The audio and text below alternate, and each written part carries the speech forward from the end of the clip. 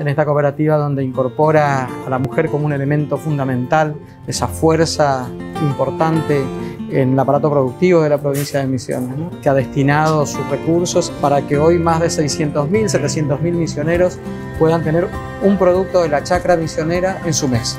Nosotros necesitábamos eh, este subsidio para comprar otra empaquetadora. En la zona somos los únicos que producimos eh, yogur y los helados en palito. El que prueba es como un vicio, sigue y sigue y sigue.